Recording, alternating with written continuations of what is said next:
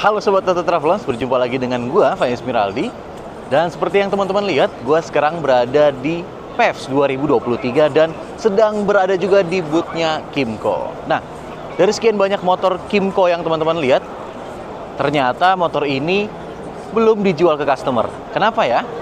Nah, jawabannya ada di video ini, jadi saksikan terus Auto Travelon sampai selesai. Let's go!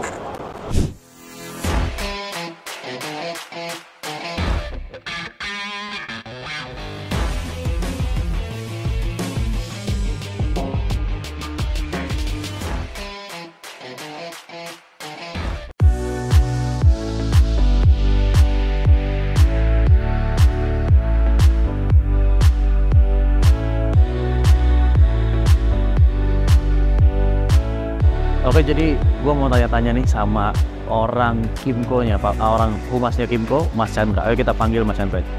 Ya, Mas, apa kabar Mas? Nah, alhamdulillah. Ya, jadi saya dari Travel Auto Travelons mau tanya-tanya nih Mas. Ya. Ini kan saya kita udah lihat banyak model produk ya dari Kimco ya.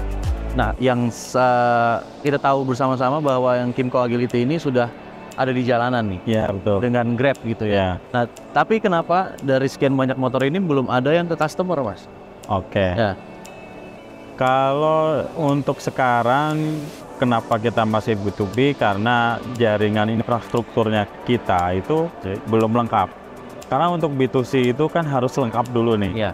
Kalau B2B kan bisa ditentukan coverage areanya di mana aja, seberapa besar, terus jalurnya lewat mana kan semuanya itu bisa ditentukan. Kalau sedangkan B2C kan enggak.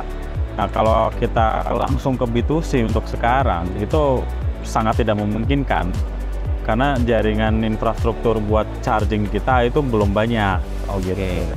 Nah, kalau menurut Mas, tadi saya mengutip lengkap. Nah, lengkapnya menurut Kimco nih seperti apa gitu? Karena banyak banyak motor-motor listrik lainnya yang udah ternyata udah ke customer segala macem. gitu. Baik. Kalau untuk kompetitor saat ini kan mereka bisa home charging ya. Oke. Nah, sedangkan kalau Kimco kita nggak sarankan untuk home charging.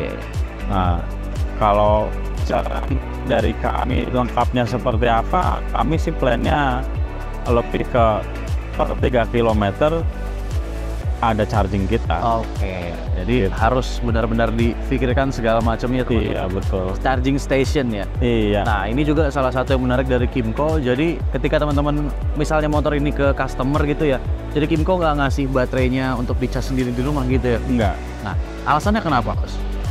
Lebih ke pertama sih lebih ke keamanan ya. Oke. keamanan untuk charging terus eh, apa kebutuhan daya untuk home charging kita juga lumayan besar sekitar 2200 watt. Itu aja belum fast charging.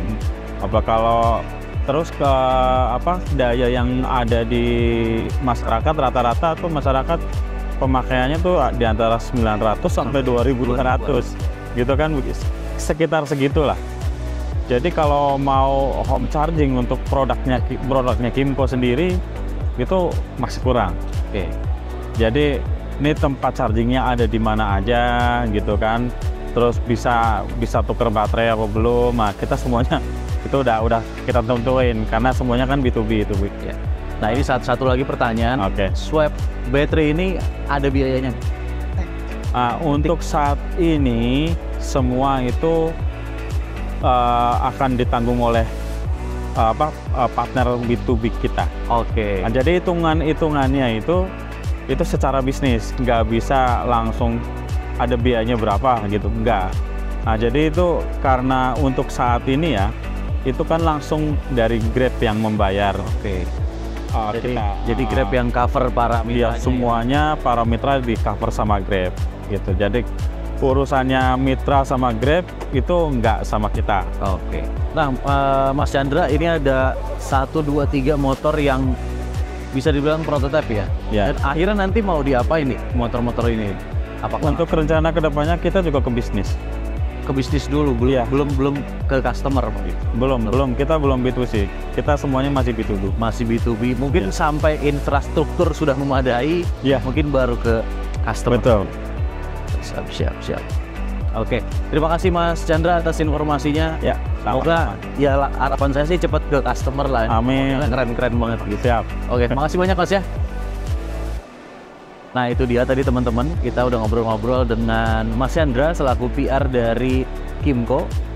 Jadi kita tahu jawabannya, motor-motor yang ada di sini masih prototype dan proyeksinya ke depannya adalah untuk B2B dulu baru ke customer jika infrastrukturnya sudah lengkap. Gitu teman-teman. Jadi jika ada yang kurang jelas silahkan tulis di komentar, nanti admin kita akan membalasnya. Gue Vesmiraldi sampai di sini dulu, sampai jumpa di video berikutnya. Salam Auto Travelon. Let's go!